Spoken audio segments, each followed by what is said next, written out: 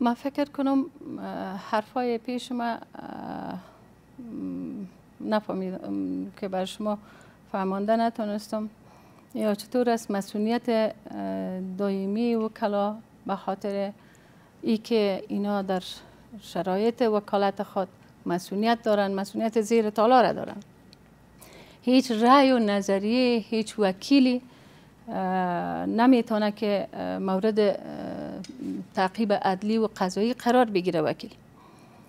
در این صورت وقتی که از وکالت مثلا یک وکیلی که در پارلمان حضور داشته یک روزی چهره یک عضو مافیا را افشا کرد در وقت وکالتش. ممکن بعد از وکالت ختم وکالت یک شهروند عادی مثل که شما گفتین تبدیل میشه. در او حالت او مسئولیت که نداشته باشه پس در وقت وکالتش هم هیچگاهی این ای مشکل را برای خود قبول نمی‌کنه که سبا او مورد تهدید خانوادگی یا جسمی خود قرار بگیره. یک مورد. مورد دیگه که موضوع 25 فیصد معاش هسته کمیسونی که ما به او ارتباط دارم. از دو سال به این طرف این موارد را ما بسیار تحلیلگرانه مطالعه کردیم. سر از این بحث های زیادی شد. امی 25 فیصد معاش را از نظر کمیسیون ما ما ردش کردیم. مورد قبول ما نبود. گرچندی که گرچندی که چون حالی از 120 چند نفر 25 نفر رای گرفته ای که در او جمع هم هستم 25 فیصد معاش فکر کنم 18 هزار یا 19 هزار افغانی میشه. ایره اما وکیلی که مثلا تقاعد قانون خدمات ملکی. کسی که تقاعد می‌کنه به تقاعد برده می‌شد او تقاعدی خود را می‌گیره. این چیز اگر شما مطالعه کنین در اینجا در اینجا مثل تقاعدی مامور کارمند معلم. چون این چیزی نیست. چون این چیزی نیست خانم. ما مطالعه کردیم دقیقا مطالعه کردیم. ما کاملا شخصا ما ما از کمیسیون خود از کمیسیون خود همچنان یک چیزی را مطابق قانون خدمات کار و خدمات ملکی ما فیصله کمیسیون ما هست و هنوز هم از او از امو چی؟ ما میگم که کسی که تقاعد اگر کرده باشه برش یک امتیاز کوچک داده میشه. مثلا یگان نفر که 60 ساله هست وکیل هست. ما 65 ساله را هم داریم در تالار خود. ای تا وقت که بعد از اینکه ختم کارش میشه. یعنی شما نمیپذیرید که ای اگر مسئولیت داشته باشه. مطابق ماده قانون کار و خدمات ملکی تقاعد حق یکی از حقوق حقه مردم کشور هست مطابق قانون اساسی و قانون دیگه همین تقاعد هست تقاعد چیز دیگه است و تصویب امتیازات بعد از پایان ماموریت برای وکلای محترم شورای ملی که در این قانون آمده این کاملا یک چیز دیگه است. فقط به عنوان در این قسمت بله. جواب کوتاه می‌خواستم. فکر نمی‌کنین که این حرکت شما یا این تصویب از این قانون خلاف ماده 22 قانون اساسی است؟ ما باز هم حرفای خود بار دیگه میگم که ما مطابق قانون کار و خدمات ملکی تقاعدی را ما می‌تونم بقبولم اما ای که معاش فیصدی صد درصد که بر از او قید و بست قانون میشه در توافق ندارم. سپاس. یک وقفه کوتاه می‌گیریم. پس از وقفه بحث خدا با آقای دکتر زهیر سادات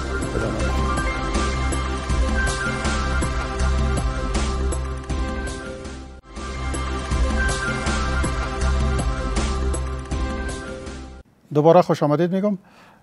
دکتر سب سعادت شما چی فکر می‌کنید؟ در رابطه با قانونی را که از سوی مجلس به تصویب رسید در رابطه با حقوق و امتیازات خود شما که بسیار باستاب منفی در مطبوعات و در بین معکلین شما داشت. چقدر این قانون سازگاری داره با قانون قوانین دیگه کشور از جمله قانون اساسی؟ و حالت فیلی از این کشور و, و, و خواست معکلین شما. اگر شما اجازه بتین من یک توضیح اول می‌تونم با خدمتون باز بعدا نظر خود خود گفتم یا در جریان صحبت ها نظرم خود بفرمایید. برملا شد. یک چیزی که بسیار هموطنان بر علیه شورا انگیزشان یعنی برانگیخته و اکثرا فکر می‌کنن که وکیلا بیشتر امتیاز می‌گیرن. ما فعلا سر از قانون صحبت نمی‌کنم به گذشتهش برمیگردم. که مثلا یک معاشی که برای وکیلا اضافه شد یا معاشی که برشان میتن اما مقدار معاشی را که فعلا برای وکیلا میتن رو برای وکیل بادیگارد وکیل خرج دستارخان وکیل کرای خانه وکیل و دستیار وکیل است در مجموع. و ایران باید هموطنان درک بکنن که یک وکیل پست وکالت با پست وزارت یا پست یک ریاست فرق می‌کنه.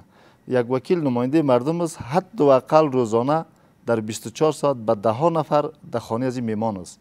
اگر وکیل کابلی میمانه نداره وکیلایی که از اطراف از ولایت های دور میه موکلش که از ولایت میه به خانهش حتما در خانه ازی بوده باش می‌کنه و این حق این مجبور است به عنوان وکیل از امو ولایت مصرف و خوردنش حتی استراحتش ایناش پرداخت بکنه. بعضی از وکیلا که حتی به نام موکلینشون میمانخانه دارن که کسایی که از جای دور میاد در میمانخانهشون سپری می‌کنن. این در ارتباط به گرفتن معاشی که از وکیلا تابال می‌گیرند و سر صدا بیشتر است وکیل بیشتر معاش می‌گیره. خصوصا کسایی به خاطر کمپاین خودشان بعضی انمی گپا رو مطرح می‌کنن که در جامعه مطرح باشن. اما واقع بینانه موضوع به موضوع رسیده چی نمی‌کنن توجه نمی‌کنن که واقعا این وکیل چقدر مصرف داره؟ یک موضوع. موضوع دوم در ارتباط با مسئله از این قانون. شما می‌فهمین که اجازه بدین دکتر سب حالا خب من اجازه بدین که من شما صحبت خود دوام نه نه شما گپای مرا در وسط قطع کنی مردم برداشت غلط می‌کنه حالا بدین اجازه بدین که من توضیح بدم. سوال پیدا شوه وقتی سوال پیدا شوه باز میره. فقط یک نکته برای ما بگین حالا امیر شما پذیرفته بدین خود به عنوان وکیل نامزد ساختین و نه حالا شما هم یک آدم گفتن نام چیز گفت خدای. اصل نام از آدم خدای بیردی بود. مردم فکر کرد که مشرک شد زدندش نه تو خو مرا به بیردی بمان که باز اگر سوال شما حل نشد اما گپ خب بفرمایید این در ارتباط به امتیازات فعلی آمدیم در ارتباط به امتیازات قانونی که پاس شد پروسیجر قانونگذاری طوری است که قوانین در جلس در کمیسیون ها سر جر بس میشه بعدا میاد به داخل شورا بالایش رای گیری میشه و تصامیم شورا یا امو قانونی که در شورا پاس میشه به اکثریت مطلق ببخشید هر کسی که رای بلندتر گرفت اونمو اگر رای کارت سبز اکثریت بود او به تصویب می‌رسه اگر کارت مخالف بیشتر بود او رد میشه قانونی که در اینجا به تصویب بردن به شورا با اکثریت به تصویب رسید به عنوان یک پاس شده شورا شخصا من مخالف هستم و به خاطر به چند دلیل مخالف هستم به دلیل از که در جریان وکالت اگر یک امتیازی بر وکیل داده میشه خدمت رو نرس کردم در پالویش اونو قدر مصارف دیگر هم داره او در جریان وکالتش است اگر مسئولیت هم داره در جریان وکالتش داره اما بعضی موارد اضافی که در این قانون در او گنجانیده شد به طور مثال 25 درصد معاش آخرین معاش برای وکیل پرداخت شود با توجه به شرایط افغانستان کشوری که ما امیالی حتی تمام معاش کارمندای ما یعنی بودجه عادی ما 70 درصدش یا 60 درصدش توسط کمک های کشورهای بیرونی تمویل میشه. بودجه انکشافی ما 100 درصدش توسط کشورهای بیرونی تمویل میشه. در این شرایط گرفتن و معاش شما یک, یک بوج اضافی است که به گردن دولت میندازیم در صورتی که خود ما هیچ بودجه هم نداریم. اما به خیرات و به گدایی موضوع دوم موضوع چی بود؟ موضوع مثلا داشتن بادیگارد ما هم وکیلای داریم که چهار بادیگارد حقشان است. اما یک بادیگارد هم نداره. یعنی بادیگارد از ضرورت نیست. شاید اما آدم ضرورت نداشته باشه. اما وکیلی هم داریم که چهار بادیگارد حقش است 20 بادیگارد همراهش میگردانه. به خاطر از اینکه اما آدم 20 بادیگارد شاید ضرورت داشته باشه. از جمله نمو کادرای از وطن است از جمله کسایی است که خب مشکلات امنیتی داره. وزارت داخله حکومت افغانستان لازم دیده برش یک 20 بادیگارد اضافی داده. چون حفظ جان شهروند یک کشور مربوط به حکومت است که باید او را حفاظت بکنه یک. اما در ارتباط به اینکه یک وکیل بعد از وکالت دو بادیگارد داشته باشه من شخصا مخالف, مخالف هستم. می‌شد که ما مثلا نظر ما پذیرفته نشد. مثلا می‌شد بگن که یک وکیل حق داره که جواز صلاحش جوازش همین جواز صلاحی که پیش بادیگاردش می باشه وزارت داخله بده اما ماش از جیب خودش میته هر کاری که می‌کنه او مشکلش خودش حل کنه. موضوع سومی که در رسانه بسیار باستاب پیدا کرد موضوع پاسپورت دیپلماتیک است. ببینید کشوری که تماما زندگیش به گدایی پیش میره ایره, مطمئن باشین و باورم داشته باشین که پاسپورت دیپلماتیکش هم آنچنان سهولت هایی که برای دیگه کشورها مهیاست برای دیپلمات های افغانستان هم نیست. شما اگر پاسپورت دیپلماتیک هم به سفارت ببرین براتون ویزا نمیده تا زمانی که یادداشت نباشه تا یک زمانی که سفیر چی سفر رسمی نداشته باشین. یگانه سه کشوری هستند که با پاسپورت مسئله چه ارتباط نداره دکتر صاحب اینالی شما توضیحات خود میفرمایید ولی برای ما اجازه بدین که ما پرسش بکنیم. حالا مسئله که افغانستان یک کشور فقیر است. افغانستان به مثابه یک کشور جهان سومی کشور پس از جنگ بر از با پاسپورت دیپلماتیک از هم ویزا داده نمیشه و نمیشه و نمیشه. اما می گرفتن پاسپورت دیپلماتیک برای خود شما توسط خود شما به مسابقه قانونگذارای از این مملکت. برای موکلینتان برای این ملت چی, چی شما چی گفتنی دارین؟ آیا شما دیپلمات هستین که برای خود پاسپورت دیپلمات می‌خواین؟ گوش کنین. یا در حالی که وظیفه شما ماموریت شما در پارلمان به پایان می‌رسه؟ شما با کدام حق برای خود یک مقدار ما اول خدمت نرس کردم که شخصا مخالف از این قانون شخصا مخالف هستین ولی در طرفداری و در اینا شما طرفداری بکنین حق دارین حقتان است ولی دلایل برای ما ارائه بکنین. متوجه نشدین خب؟ ما دلیل امی دلیل براتون میگم. دلیل میگن که افغانستان کشور بعد از جنگ کشور که پاسپورت دیپلماتیک دیپلماتیکش مثل پاسپورت دیپلماتیک سایر کشورها اعتبار نداره تا که نامه نباشه و این نباشه و آن نباشه. یعنی اما یک امتیاز نیست اینو به خاطر گوش کنین یک شهروند عادی می‌تونه پاسپورت هر یک شهروند حق داره پاسپورت کشورش داشته باشه. اما دیپلماتیک نه. ما براتون میگم چون سهولت نداره اصلا ما به خاطر از این می‌خوایم که ذهن هموطنان باز بسازم که داشتن و پاسپورت دیپلماتیک تنان یگانه امتیازش نمیشه که از راه عادی نمیری از راه چی میری؟ از راه VIP میری. یک. چرا چنین باشه دکتر صاحب اجازه بدید براتون میگم. شما اگر بخواین که ایره بحث بکنین یکی از دوستا پیشتر هم گفت که در حدود 20 هزار پاسپورت دیپلماتیک که امیالی توزیع شده در بدل پول. اصلا آدم شاید تاجر باشه شاید دکاندار باشه اما یا شناخت داره یا رابطه داره یا به کسی خیش قاربش است پاسپورت گرفته که خلاف قانون است. خوی اجازه بدین اجازه بدین.